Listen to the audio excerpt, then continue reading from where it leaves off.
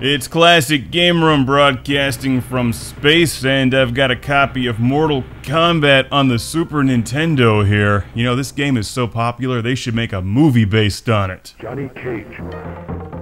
Hey, I like the Mortal Kombat movie, but you know I'm probably the only person on Earth who prefers Pit Fighter when it comes to video games. That's right, I've I've never really gotten into the Mortal Kombat series, although I seem to be playing my way through all of them. Here's the Super Nintendo version of Mortal Kombat, spelled with a K. From 1993, published by Acclaim, this is a super sanitized version of Mortal Kombat on the Super Nintendo Entertainment System. Mortal Kombat without blood and guts. That's like non alcoholic beer. So is Diet Mortal Kombat, Mortal Kombat Free, Mortal Kombat Zero any good? Well, it, it looks nice. And it has your Mortal Kombat style music and sound effects, also, it plays well. But there's no blood.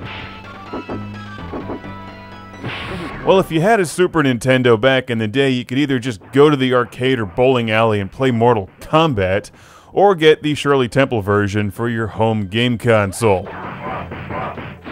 And that's probably the only time in history anyone ever said Shirley Temple and Mortal Kombat in the same sentence. The special moves are fairly easy to execute, and like normal with the Mortal Kombat series, you're not going to get very far in the game without them. Anyway, this is one of those games that you either like or don't like. Technically, it's a nice 16 bit version of the game, but it's like an Arnold Palmer without the lemonade. Come on. You're just drinking iced tea without the blood. Oh, wait. Well, no, that that's kind of weird. Never mind. I think this is one of the rare cases when we can all agree that the Atari Jaguar did it better. And I'm not talking about Mortal Kombat, I'm talking about Kasumi Ninja. Because in 1994, if you were playing this game, you know secretly you wanted Kasumi Ninja because that game had blood and a dude who would shoot fireballs from under his kilt.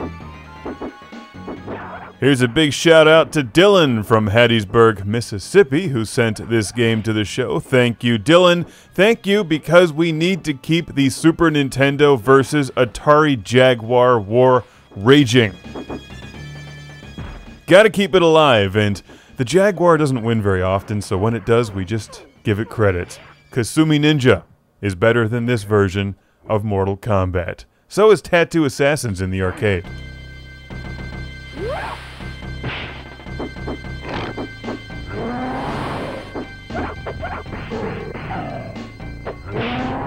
I'm absolutely awful at this game, but here's my recommendation. If you love the Super Nintendo and you're still living in 1993 and want to play Mortal Kombat, I recommend that you wait a year and buy Kasumi Ninja for the Jaguar.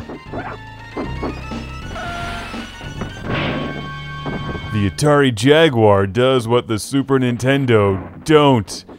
It don't sell very much.